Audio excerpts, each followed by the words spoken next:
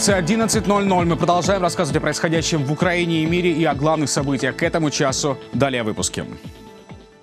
С начала суток один украинский военнослужащий получил ранение на Донбассе. Российско оккупационные группировки более 10 раз обстреливали укрепления вооруженных сил Украины, при этом 6 из них из запрещенного вооружения. Об этом телеканал UATV сообщил представитель пресс-центра операции Объединенных сил Александр Петрук. За минувшие сутки оккупанты провели 73 обстрела. Один украинский военнослужащий погиб, четверо ранены. 20 раз боевики открывали огонь из артиллерии и минометов.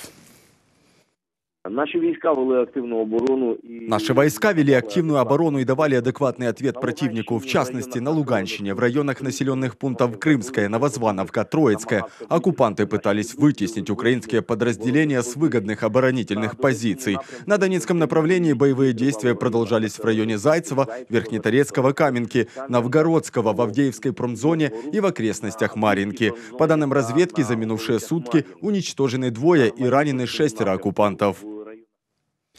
Россия и прокремлевские силы в Украине пытаются помешать признанию автокефалии Украинской Православной Церкви. Об этом говорится в официальном обращении предстоятеля Украинской Православной Церкви Киевского Патриархата Филарета. Отмечается, московская митрополия в приходах Московского патриархата в Украине собирает подписи прихожан против автокефалии. В Синоде УПЦ Киевского патриархата выразили протест против вмешательства России в церковные дела Украины и отметили, действия Московского патриархата нарушают украинское законодательство и разжигают межконфессиональную рознь.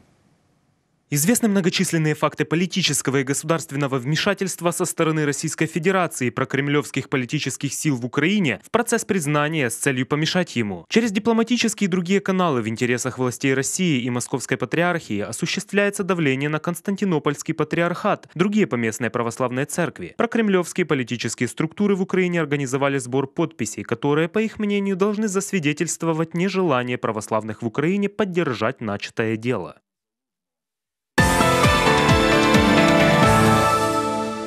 Ответственность за нападение в Париже взяла на себя террористическая группировка «Исламское государство». Вечером в субботу неизвестный мужчина с криками «Аллах Акбар» бросился с ножом на прохожих неподалеку от здания столичной оперы, сообщают правоохранители. В результате один человек погиб, четверо ранены. Полицейские сначала пытались задержать подозреваемого при помощи электрошокеров, однако им этого не удалось, после чего нападавшего застрелили. Расследованием занимается антитеррористическое подразделение прокуратуры. Местные СМИ со ссылкой на источники сообщают, нападавший выходец из Чечни. По данным французских властей, родителей преступника задержали, и их допрашивают сотрудники полиции. Là, j'ai vu que des gens s'occupaient très bien d'elle. On... Потом мы услышали выстрелы примерно в 100-150 метрах. Я пошел в ту сторону, и ко мне подбежал полицейский. Он спросил, есть ли жертва и где. Мы показали, а затем спросил, кто стрелял.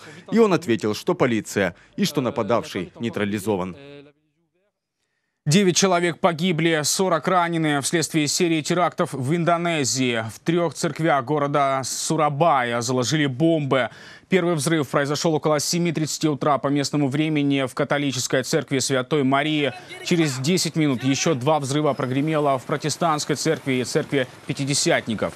Официально о своей причастности к нападениям пока никто не заявил. По данным представителей спецслужб, в терактах виновна местная группировка, связанная с террористической организацией «Исламское государство». На месте преступления работают следственные группы. Украинский боксер, профессионал Василий Ломаченко стал чемпионом мира по версии WBA в легком весе. В десятом раунде поединка на ринге Мэдисон Сквер Гарден украинец победил венесуэльца Хорхе Ленареса. Для Ломаченко этот бой стал одним из самых сложных на профиринге. В шестом раунде он впервые в своей карьере оказался в нокдауне, но спустя несколько раундов собрался и отправил венесуэльца в технический нокаут, нанеся ему удар по печени печени. Ломаченко добыл чемпионский пояс уже в третьей весовой категории с новым рекордом. Сделал это в 12-м поединке. Промоутер Боб Арум заявил, что следующий бой Василия состоится 25 августа на домашней арене Лос-Анджелес Лейкерс. Сам Ломаченко сказал, что готов к бою-реваншу с Линаресом.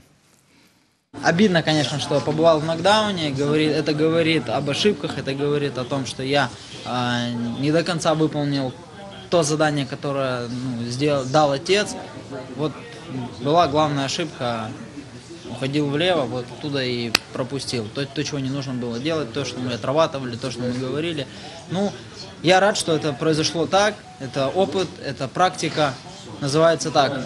А, не умеешь учиться на чужих ошибках, учимся на своих ошибках. Хорошо, что так, хорошо, что встал, собрался, ну и довел дело до конца. Национальный отбор Invictus Games завершился в Киеве. Украинские военнослужащие, получившие ранения разной степени тяжести на фронте, соревновались за медали в восьми видах спорта. До июня из них выберут 15 человек, которые сразятся на международном этапе в австралийском Сиднее. Виктор Легкодух пробует свои силы в играх непокоренных впервые. До этого была длительная реабилитация. Четыре года назад профессиональный военный получил осколковое ранение под Дебальцево. В результате перелом позвоночника. Четыре месяца. Четыре месяца я был полностью в лежачем состоянии. Потом три месяца активного восстановления. После этого я еще на протяжении года был в реабилитационных центрах. Спортом Виктор занимался и до ранения. Теперь увлекся греблей на тренажерах и решил посоревноваться с другими непокоренными. Если удастся попасть в сборную, хотел бы достойно представить свою страну в мировом масштабе. Ведь это очень важно, что мировое сообщество так принимает Украину, что они включили нас в состав команды Invictus Games.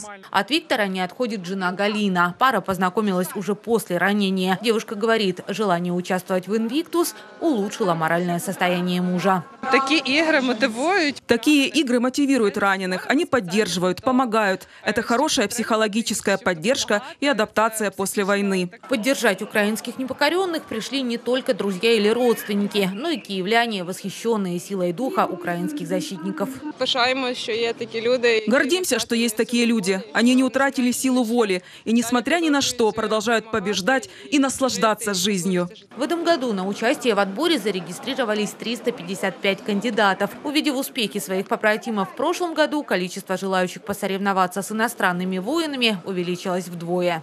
Мотивация особиста. Личная мотивация. У меня двух ног нет, и это мотивация. Хочу быть лучше, чем те, у кого они есть.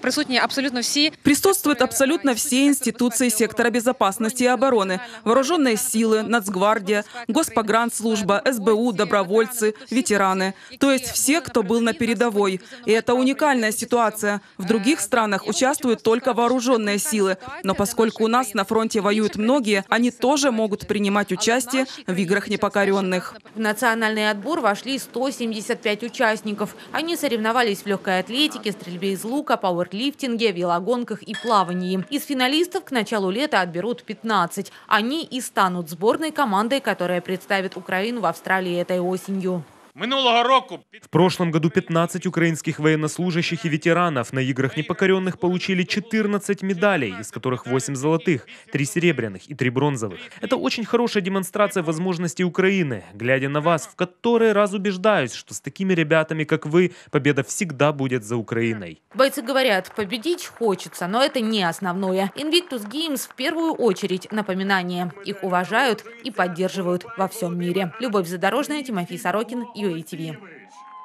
И победительницей международного песенного конкурса «Евровидение-2018» стала певица Нетта, представляющая Израиль. Успех израильтянки принесла электропоп-композиция «Той», что в переводе «игрушка». По результатам голосования жюри и телезрителей певица получила 529 баллов. Главной конкуренткой Нетты была представительница Кипра Элени Фурейра с песней «Фьюга. Огонь». Ей присудили 436 баллов. На третьей позиции исполнитель из Австрии Сезар Сэмпсон с композицией «Nobody But You». Украинский исполнитель Меловин набрал 130 баллов, заняв 17 место. За главный приз конкурса «Хрустальный микрофон» в финале боролись 26 представителей. Cyprus!